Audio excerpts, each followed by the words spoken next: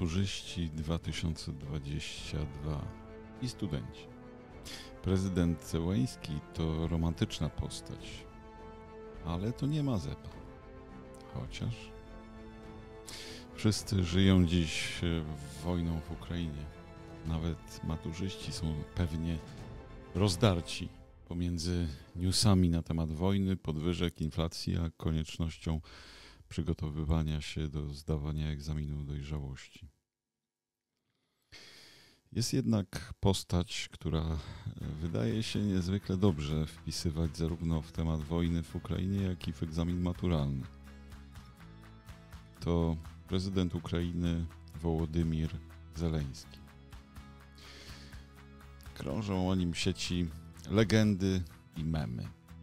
I o tym wszystkim, wszystko świadczy o tym, że prezydent Ukrainy jest postacią niezwykle barwną i niejednoznaczną. Najbardziej jednak uderzające, się, uderzające jest, że w jego postaci widać wyraźnie zmieszanie mediów i rzeczywistości. W tej chwili występuje bardzo często jednak jako jednoznaczny bohater, wspaniały przywódca służący z poświęceniem swoim ludziom. Można powiedzieć, że prezydent Zeleński ucieleśnia znakomicie ideę świata jako teatru.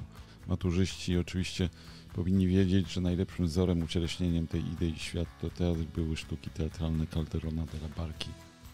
Notabene w Łodzi właśnie można oglądać w Teatrze Nowym bardzo ciekawy i aktualny spektakl na podstawie jego sztuki pod tytułem Wielki Teatr Świata. Jednak pod dużym wpływem autora tej sztuki, hiszpańskiego dramatopisarza de la Barki, pozostał nasz romantyczny twórca, jeden z trzech wieszczów narodowych, Juliusz Słowacki. Świetnie te wpływy widać w pięcioaktowym dramacie pod tytułem Mazepa, w którym nie wiadomo, czy tragiczne rozwiązania na końcu, trupy się ścielą gęsto, są wynikiem kompletnego przypadku, czy też opatrzności. Świetny przykład ironii romantycznej. Iwan Mazepa to historyczny przywódca Ukrainy. Słynny w Polsce pamiętnikarz Jan Chryzostom Pasek jest autorem opowieści, która obiegła cały świat kultury. Jako młody człowiek Mazepa został złapany na gorącym uczynku erotycznym ze szlachcianką, której mąż ukarał go, przywiązując nagiego do dzikiego konia i wypuszczając na wolność. W końcu dotarł on do kozaków i został ich dowódcą wojskowym. Lord Byron napisał utwór Mazeppa, poemat poświęcony głównie tej szaleńczej jeździe na koniu w 1819 roku.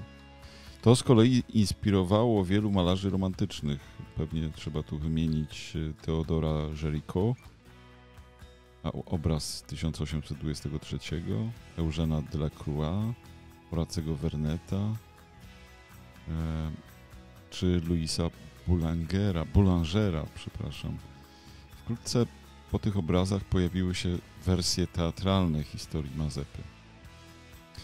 Mazepa był historycznym hetmanem wojska zaporowskiego kozackiego w latach 1687-1708. Odegrał ważną rolę w bitwie pod Połtawą w 1709, kiedy stanął po stronie szwedzkiego króla Karola XII. Dlatego Puszkin, chcący się przypodobać celowi, napisał Połtawę, w której przedstawił Mazepę jako zdrajcę Rosjan. Potem Czajkowski stworzył na podstawie wiersza Puszkina operę Mazepa z librettem Wiktora Burenina. Jednak w kulturze Zachodu obrazem najbardziej fascynującym ludzi jest to zjednoczenie z dzikim koniem, co z punktu widzenia antropologii kultury może być wiązane przede wszystkim z wyobrażeniem o magicznej, szamańskiej sile. Widać tutaj także idealizację Orientu. Porównuje się też ten romantyczny obraz z romantycznym przedstawieniem Fetona w mitologii greckiej syn Heliosa, który zbyt lekkomyślnie jeździł słonecznym rydwanem. Nawet moderniści, tacy jak Bertolt Brecht i Roy Campbell, fascynowali się tym obrazem. Charakterystyczna jest kreacja Wiktora Hugo, który napisał wiersz Mazeppa, dedykowany Boulangerowi. Wiersz przedstawia romantyzm równin ukraińskich, ale Mazapa przyrównany jest do poety wygnanego ze świata żywych ze względu na swoje dziwactwa. Zakazany poeta jest przywiązany do dzikiego konia swojej inspiracji. I go wierzy końcowy sukces swojego bohatera. Jednak na, najważniejsze dla maturzystów jest to, że Juliusz Słowacki napisał sztukę Mazepa w 1840. Jedyny dramat, który wystawiono za jego życia, notabene w Budapeszcie. W polskim serwisie wideo Nina Teka dostępna jest ekranizacja tego dramatu w reżyserii legendarnego Gustawa Cholubka z, z 1969 roku. Widowisko powstało rok po słynnej inscenizacji Dziadów Mickiewicza w 1968 roku. Charakterystyczne, że w dramacie Słowackiego to, co podniecało wyobraźnię malarzy i muzyków zachodu Europy, szaleńcza naga jazda na koniu, u Słowackiego i w filmie Cholubka następuje już poza sceną teatru, po zakończeniu sztuki. Dla ma, maturzystów tegorocznych na pewno ciekawe jest także i to, że Józef Bogdan Zaleski, polski poeta z tzw. Tak romantycznej szkoły ukraińskiej, jest autorem Dumki Mazepy. Dużo wątków romantycznych w tej historii, jakże pasujących do bohaterów wojny. Grzmot nie piorun, krew nie woda. Kto wojuje, zna co boje. Darmo grozi wojewoda, darmo groźby się nie boję.